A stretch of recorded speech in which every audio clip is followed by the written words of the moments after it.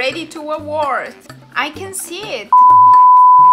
This sounds a little bit weird, but when I'm actually like taking you guys with me, I don't really feel like I'm alone because I always imagine like talking to you. Aww. Now I kind of wish that there was someone with me. And this is another installation made during lockdown by a French designer. We're gonna eyeball it. We're gonna eyeball the whole freaking recipe, but let's do this.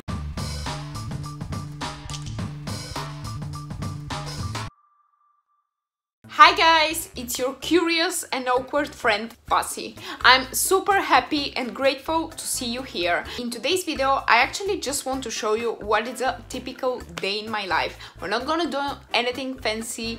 There's gonna be a lot of cooking. Oh no, I lied to you. There's gonna be something more special. We're going to the London Design Festival and more specifically in King's Cross Design District and today is actually Sunday and you know what this means pancakes time! And if you have seen my previous videos, you already know that I usually start my day by doing some yoga and I try to look cool but at the same time I just get distracted and say hi to the camera. So I had breakfast, I had a shower and now I'm actually checking my emails. Well, actually these are not my emails. I'm checking uh, a recipe for crepe because I'm actually thinking maybe I want to have them savory instead of sweet just because it's like almost lunchtime and yeah I just don't feel like having something sweet again. I'm actually starting to make my pancakes but guys like I'm gonna show you some parts but definitely don't take this like as a cooking tutorial because it's not.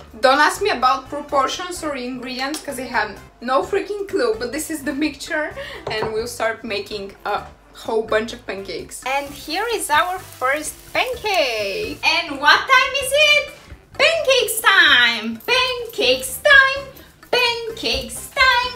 Yay! Pancakes! Guys, if you want to see more of the pancake dance or anything else awkward, don't forget to subscribe. Now this is the first pancake you made, so let's the last.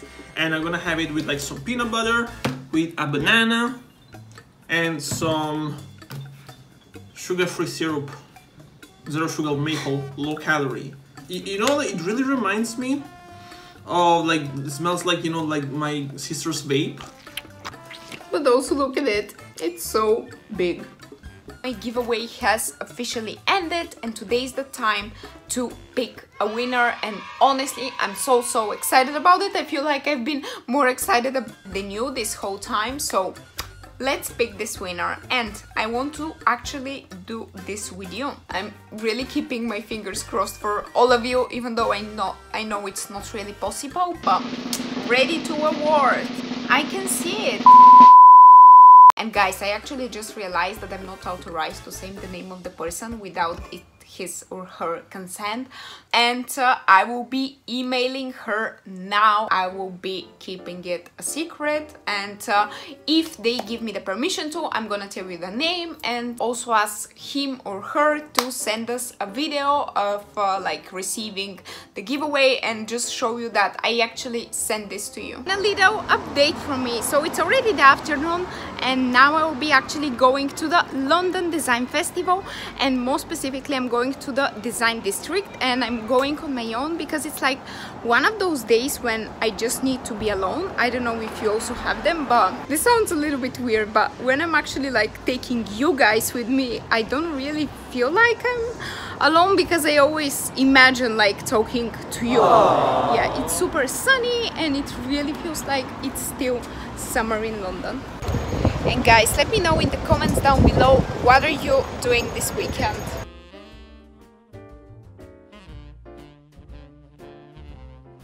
And I just arrived at King's Cross and now I have to see where exactly is the design festival.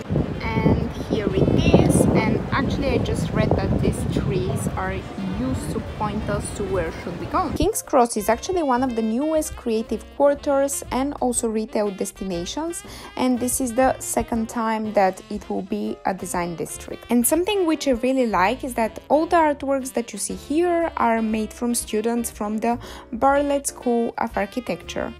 And this is actually a super famous ice cream truck that I always see in front of St. James Park. And I actually used to work in this area. I started working here in 2019 and it was like so empty. Literally almost everything was under construction and I saw it like being built all the time. But do you know what is the main reason on why they're investing so much in this area?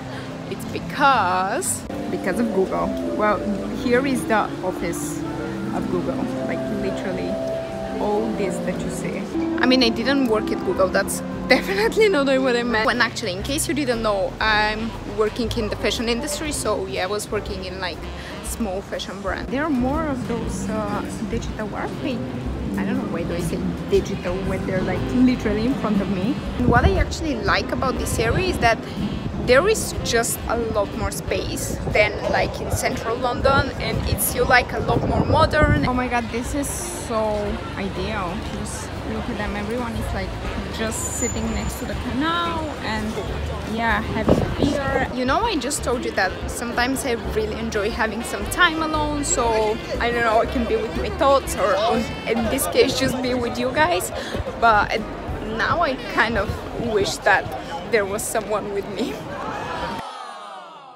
And as I told you, those trees actually show you the direction on where should you go and this is Planted, which is the first contemporary design show that it's trying to reconnect cities with nature. These are some of their projects. And if you are around in the area at another time, you can still find so many places to eat and things to do. And I don't know, is it actually common to let kids just run around naked around the fountains? I find it just adorable. Cute, just around in the flowers. I swear, this was my dream to be so wild and around when I was little. To be honest with you, the first time that I heard about Design Festival in London, it really reminded me of the Design Week in Milan. Kind of expected something similar because the concept is practically the same that everyone who is working in like art and design related can present their work to the public and there are usually like lots of events. And this installation in the sky is called Pattern Portraits and it's actually made from students during lockdown and they were basically asked to combine uh, patterns from their own clothing to create abstract forms. And of course sustainability was at the heart of the project. And this is another installation made during lockdown by a French designer. And I actually really like this installation because basically the main purpose and message that it's trying to tell us is that we should all stay together and support each other. Oh and guys I also got for free this book which basically explains you all the things that come in the festival and what can you see and I'm loving it. Look at it, it's so big and everything that you see in this shop is actually made from design students. One of the main reasons why do I like it so much it's because it feels like they're integrating art and culture into like our daily life and they expose us to like so many interesting things. The concept this year is really based around sustainability so oh there is also this which I guess it's part of it. It's kind of cute I just have to understand what it is exactly. I'm pretty sure I missed a protest or something today because what's going on here. I came back, I had a super nice afternoon and walk and all of a sudden I see here that Ben has made fresh made bread! Yay!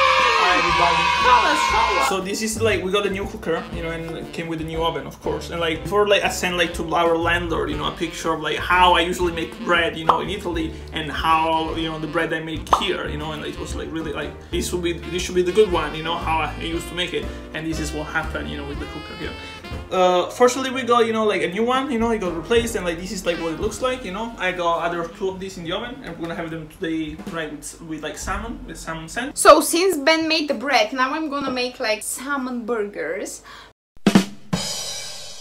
But the problem is that I saw this recipe maybe on TikTok and of course I didn't save it and disappeared. And I remember kind of the ingredients but of course I don't have like the proportions or I might miss something so we're gonna we're gonna eyeball it. We're gonna eyeball the whole freaking recipe but let's do this. Now I have cut the salmon and, and now I will be adding the oats and let's see how is this gonna work and I also added like lemon garlic salt pe salt pepper and like some other spices that I randomly found and here are the two burgers you can kind of see those here, but I think they're actually quite nice.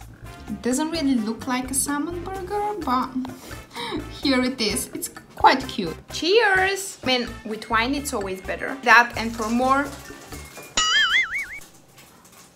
How am I supposed to eat that? I think it's because of the bread. No, eh, amore, the, the, the burger is like this thick. Thank you so much guys for watching. Don't forget to subscribe for more awkward and curious things and of course for travel related content. Love you loads. Bye! Bye!